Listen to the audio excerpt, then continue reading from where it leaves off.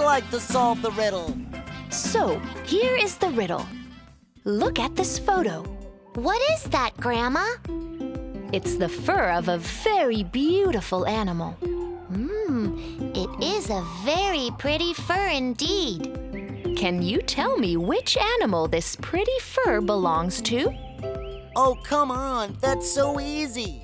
If it's so easy, what is the answer? Um, does that fur belong to an elephant?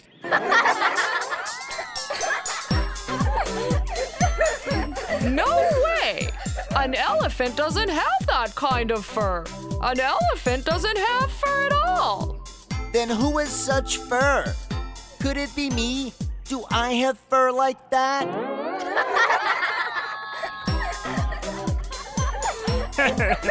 no, your fur is not like that. And that's really funny.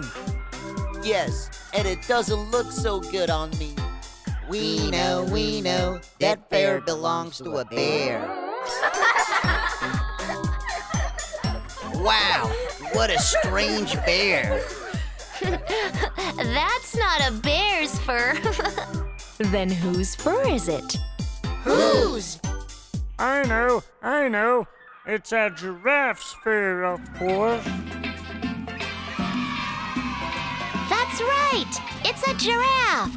What a great animal. It certainly is. So whose fur is it? The giraffes.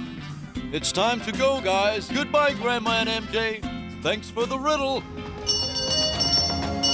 Bye bye. See you soon.